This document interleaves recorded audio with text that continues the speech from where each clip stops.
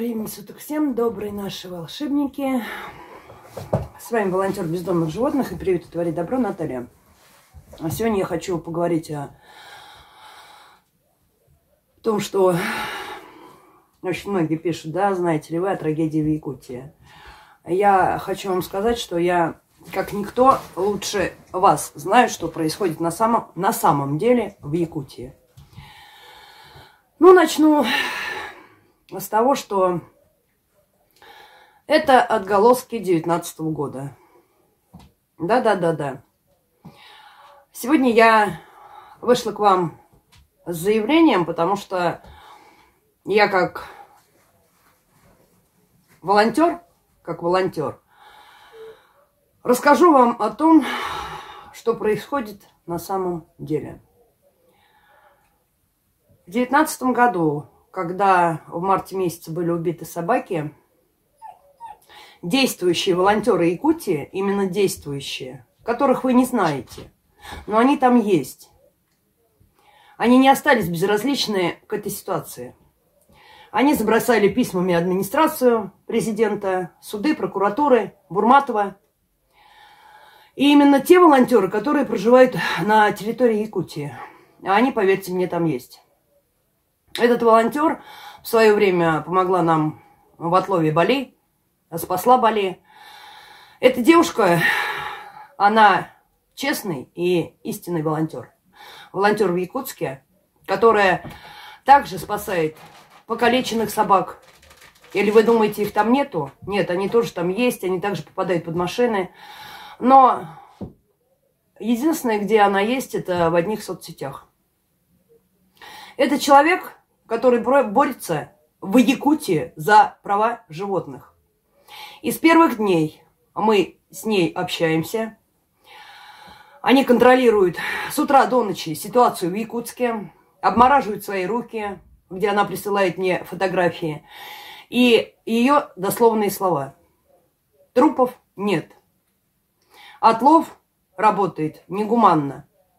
Трупов нет, следов нет – и пока я даже на своей страничке в Инстаграм не выкладываю об этом посты. Потому что и заявлений нет. Да, собаки пропали. Но сколько, что, пока это все как бы она не знает. Но этот человек вместе со своей семьей, так же, как и я, с поддержкой своей семьи, борется за права животных в Якутске. И именно президент Российской Федерации, да, прокуратура, суды, Бурматов считают ее предводителем волонтерского движения Якутии. И такие люди, они всегда бывают в тени. Но давайте рассмотрим ситуацию так. ППЖ они отстояли. Именно они. А на ее страничке в Инстаграм тоже есть все заявления, которые были посланы на имя Бурматова. Рассматриваем ситуацию. В девятнадцатом году дело не довели до логического конца. Повторение ситуации 21 год. А знаете, как в России работают власти? То есть я пишу письмо, соответственно, на а, президента Российской Федерации. Это письмо автоматом отправляется на органы э, власти Якутии. Соответственно, какой они пришлют ответ. Как работает прокуратура? Таким же образом. Мы пишем на, прокура... на прокуратуру города Москвы, прокуратура отписывается, посылает письма обратно на реги... региональную прокуратуру. То есть в России это круговая порука. Давайте возьмем Бурматова. Он единственный человек, в Российской Федерации, наверное, да, при, ну, вообще в российском, в российском правительстве, э, который также в одиночку, в одиночку борется за права животных. Но он один не в состоянии что-то сделать.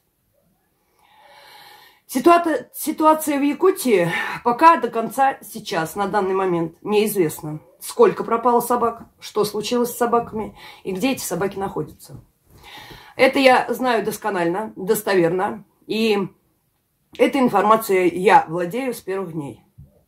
Поэтому какие ужасы вам показывают на других каналах, это пока вопрос. Вы никто не были на данный момент в Якутии. Весь мир сейчас обсуждает ситуацию Якутии. Вы ее обсуждаете на эмоциях и на чувствах. Люди, давайте включим свой разум. Человек – существо разумное. Я заявляю вам, как волонтер, те деньги, которые вы переводите на вывоз якобы собак, на вывоз, вы найдите действующих волонтеров Якутии, и если уж вам так не безразлична действительно судьба животных, организуйте в Якутии достойный приют.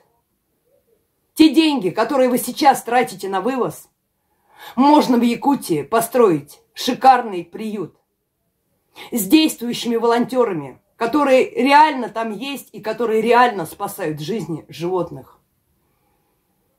Вдумайтесь, потому что вывозить их бесконечно – это не решит проблему. Когда прошел, прошел слух в Якутии, что якобы ППЖ будут отдавать опять жилищ сервису, именно волонтеры Якутска начали забрасывать письмами Бурматова.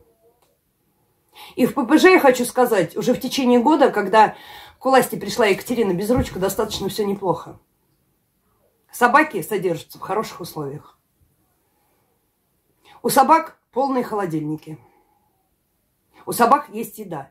Даже волонтеры Якутска некоторые приезжают туда за едой, когда у них не хватает средств. В прошлую зиму, слова волонтера, дословные вам, прошлую зиму ни одна из собак в морозы не вывезлась за пределы отлова. Всю зиму собаки просидели в отлове. И только по весне их стали выпускать.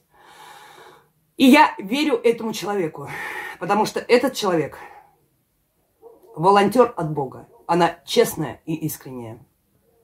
Она не занимается показательными выступлениями. Она борется за права животных. Так же, в принципе, как и я 8 лет в своем городе боролась за их права. Зеркальная ситуация. 19 год. Первый раз в жизни у меня тоже была страничка только в Одноклассниках.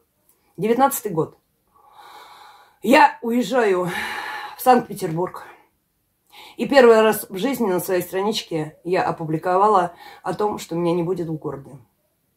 В ночь с 15 на 16 я в 5 утра кормила всех бездомышей и говорила им, зайки, потерпите, меня не будет, как-нибудь выживайте. 7.20 у меня приходит на перрон поезд, и я получаю первые фото расстрелянных собак. При, приехав в Санкт-Петербург, я подняла всех. Я подняла город, я подняла волну. Все звонили на горячую линию. Начали писать письма. Ну, соответственно, еще раз говорю, что все наши писульки и все эти письма приходят на местную администрацию. 18 числа, 18 октября, мне поступает в 10.30 звонок в СПБ, где люди плачут и говорят, что в одном из кафе, у нас есть такое кафе «Сильв», там жила собака-белка. У нее была трещинка подростка. Приехала машина, успели заснять машину, следы крови и убили собак на глазах детей и их родителей.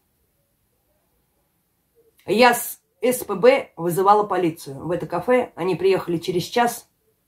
Не опросив ни одного свидетеля, люди до конца стояли, ждали. Не опросив ни одного свидетеля, они зашли в кафе, посмотрели камеры, соответственно, вышли и уехали.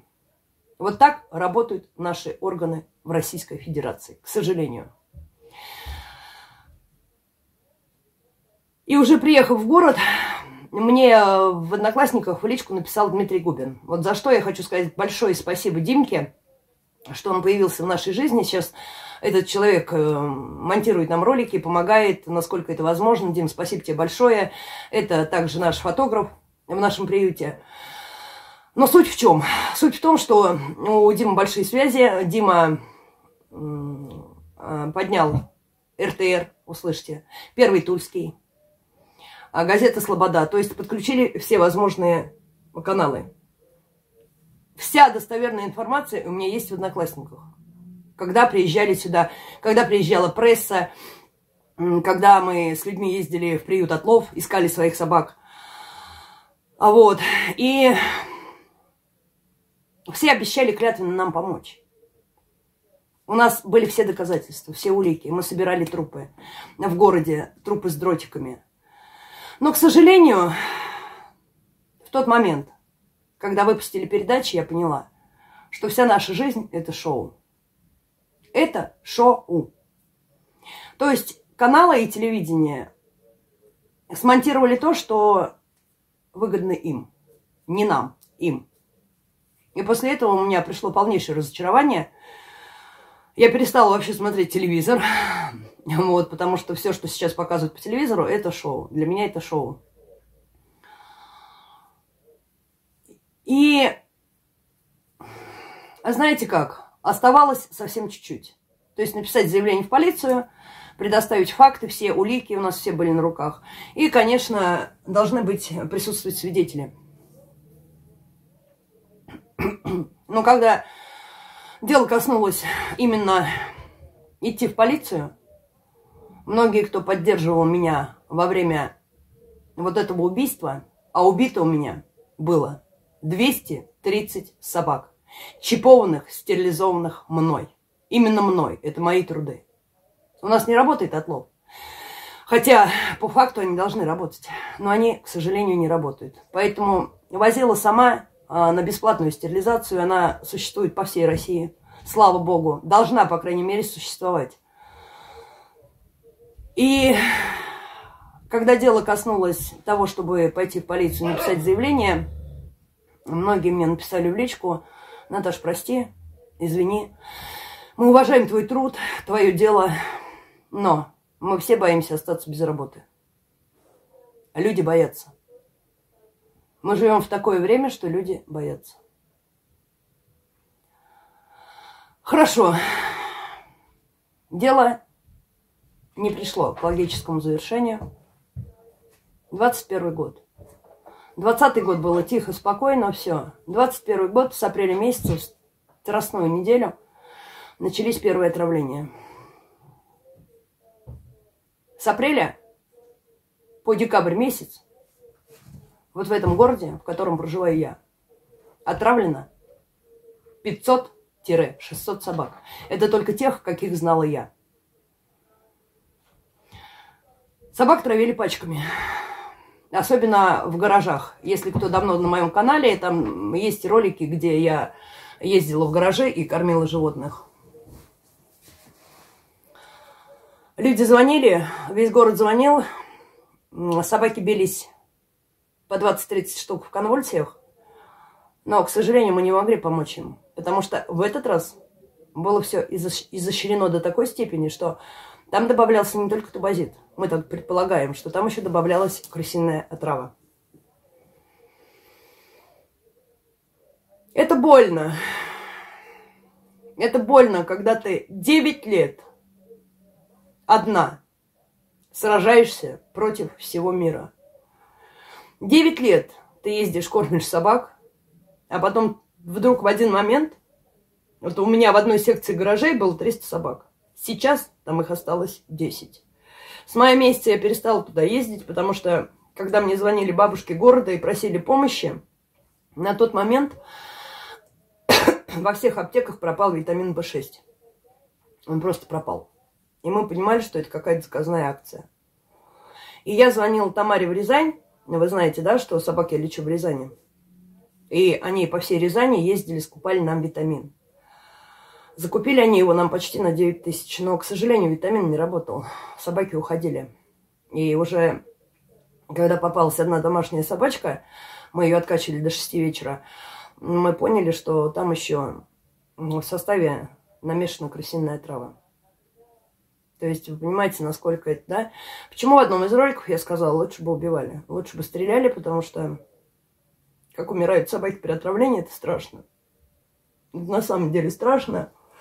И когда тебе звонят и говорят, что вот там 20 собак бьются в конвульсиях, ребят, я просто ложила трубку и не ехала, потому что я понимала, что я не смогу.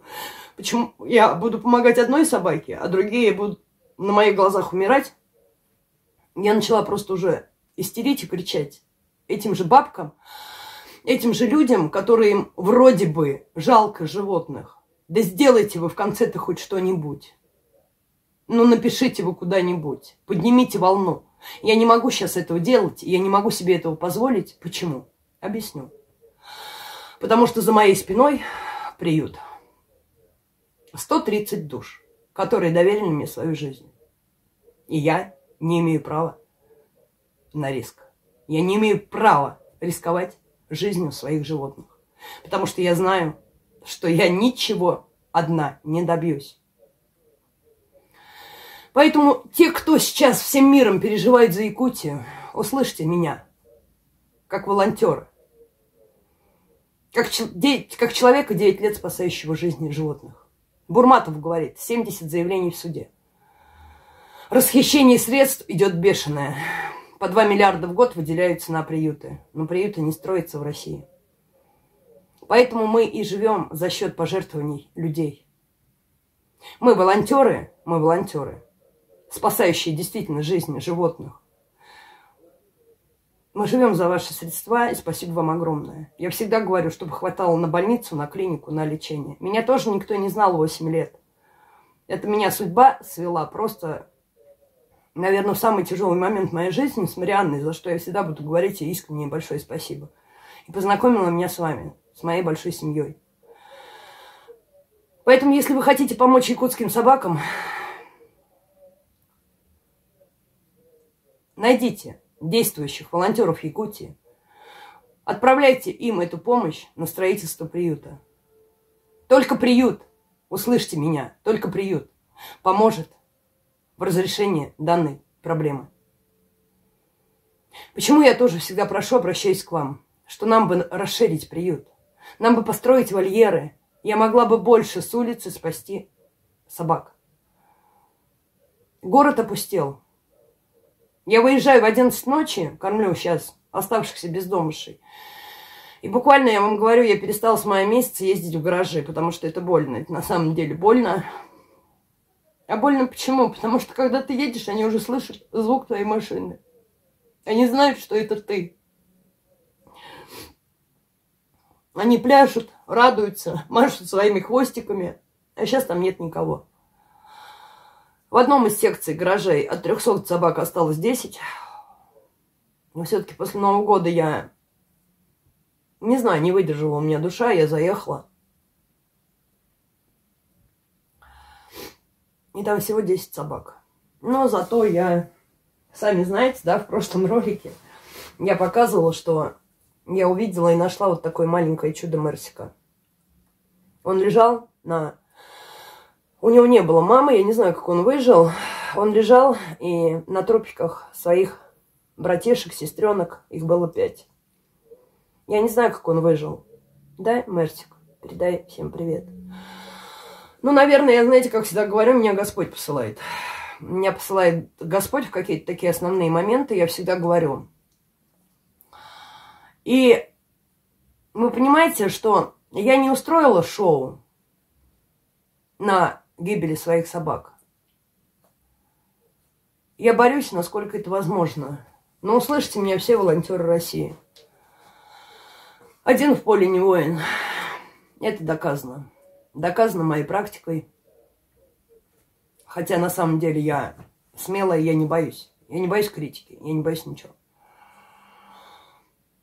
А почему я не боюсь? Потому что я честный волонтер. И мне скрывать нечего. Я всегда была за честность, за искренность и за порядочность. Но зарабатывать на, простите меня, на животных, делать пиары и шоу, это не по-божески. Он там есть. Я всегда говорю, не забываем о том, что я всегда уповаю на Господа Бога и на бумеранг. Они есть в этой жизни. Поэтому сейчас мой позыв такой еще ко всем волонтерам России. Нам надо создавать единую волонтерскую базу. Нам надо общаться друг с другом. Кто себя действительно считает волонтером, мы должны создать единую базу волонтеров. И то есть а, при первой там ситуации, когда вот я, допустим, мне говорили об отравлениях, что они начнутся, но что это будет очистка города, я, конечно, не предполагала. Когда, допустим, я услышала, что в моем городе будет такой-то, такой-то ажиотаж, мы, как волонтеры, мы должны вместе вставать плечо к плечу, писать плакаты, выходить на митинги, понимаете, в защиту прав животных в России. Мы люди, которым не безразлична судьба этих животных. Россия, мы деградируем. Мы деградируем. Все основы должны быть на добре. Люди, опомнитесь. Мы с собой туда ничего не заберем, поверьте мне. И перед Богом мы будем все равны. Мы каждый ответим за свое. Живите по средствам. Я понимаю, сейчас всем тяжело. Да, пенсионеры у нас нищие, но, к сожалению, к сожалению, мы же все сейчас сидим дома, мы все спрятались. Вспомните, как было раньше. Все поддерживали друг друга. Было дружно, было хорошо. Поэтому сейчас нам надо волонтерам России сплотиться. Давайте создадим единую базу. Давайте будем поддерживать друг друга. Вы кричите там, почему блогеры не помогают в Якутске. Я рассказал вам свою ситуацию города. Почему я должна... Чем якутские собаки, скажите мне, лучше моих собак погибших? 600 душ. 600. Слушайтесь число. Мне бы здесь их спасти. Мне бы здесь с ними разобраться. А я не могу. Один поле не воин, девочки. Поэтому, волонтеры России, услышьте мой позыв. Давайте объединяться, давайте создавать один единый час, чат, один единый реестр. Давайте вставать плечом к плечу в защиту бездомных животных. Давайте покажем нашему правительству, что нас много, что мы тоже можем объединиться, что мы тоже хотим жить в доброй, честной, без убийства России. Куда мы катимся? Куда? А вам еще всем хочу сказать, всему миру, объединившемуся сейчас в спасении якутских собак, включите свой, пожалуйста, разум. Постройте в Якутии приют. Только таким образом мы сможем спасать животных. Не вывозом, а приютами на которые выделяются средства, но, к сожалению, они до нас не доходят. И у меня, был бы у меня приют больше, построила бы я эти вольеры, я пересадила бы больших собак в вольеры, я могла бы больше собак спасти с улицы. Но, к сожалению, пока нас мало. Мы еле-еле выживаем. Вот такой сегодня мой ролик. И можете закидать меня камнями, мне все равно. Я была честным, искренним волонтером. И я им остаюсь. И я им останусь на, все, на всю жизнь. Пока Господь дает мне силы. Я в свое время вывезла собак с Якутии, с квартиры, спасла. Все живы, здоровы. Все поросята. Я сделаю обязательно отдельный ролик про них, чтобы вы увидели, как живут мои якутские собаки. Да у меня в целом все собаки живут очень хорошо. Все, кто берет моих собак в семьи, мне все говорят в личку спасибо большое. Говорит, Наталья, не поверите, что ну, мы не верим, что они с приюта. Они все социализированные и все адекватные. Потому что я стараюсь им дать всю ту любовь и всю ту ласку, которую они не получали. А еще у меня большая просьба к родителям к будущим родителям. Воспитывайте правильно детей. Прививайте любовь к животным у детей с детства, чтобы дети наши росли добрые и искренние, честные. Добро, оно именно идет с воспитания. Оно закладывается. И как говорят психологи, что Прививайте любовь к животным с детства, чтобы дети действительно росли добрые и ответственные. Следующий ролик будет о Грише. Раиса, вы там спрашивали про Гришу, я дважды вам отвечала, вы, наверное, просто не прочитали. Не все так хорошо, как бы нам хотелось. Ждите ролик. И следующий ролик будет про особенных детей. Не забываем, что у нас не оплачена передержка, что у нас висят пока дети без питания, без оплаты. С большим уважением к вам, волонтер бездомных животных и приют «Твори добро» Наталья. А, мое сердце, мое сердечко вам. Спасибо, что вы со мной. Спасибо, что вы с вами. Еще хочу сказать большое искреннее спасибо, Симона. Ваши комментарии, мой адрес, они, они, вы меня как будто чувствуете. Вы меня как будто чувствуете, да, я одна. Все на этих плечах. Я уезжаю в 11 кормить бездомышей, и сейчас у нас большие снегопады. И приезжаю только в 3 часа ночи. Но я счастлива. Я счастлива, что я покормила их, передала им от вас привет. И что именно за счет вашей большой семьи я могу помогать тем, а для меня бездомыши это именно самая такая проблемная зона, потому что они в морозах, в метелях, в сугробах выживают только благодаря вам и вашей помощи. Ну, так же, в принципе, как мой приют, но в приюте деткам по... намного получше. Вот. Поэтому ждите следующие ролики, оставайтесь с нами, со мной, с большим уважением к вам. Еще раз говорю.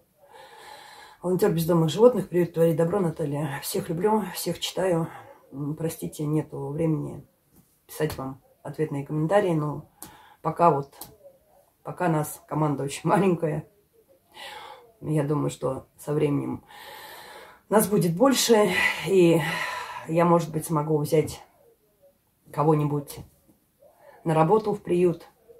Ну, как бы, может, кто-то придет к нам развивать наши соцсети. Ну, пока мы Копаемся вот так вот небольшим своим кружком. Но я безумно счастлива. Я безумно счастлива, что мы дарим жизнь. И знаете, что я еще хочу сказать в конце, отметить то, что те особенные хвостики, которые сейчас у Натальи Вадим на передержке, с одной стороны, может быть и хорошо, что с ними случилось.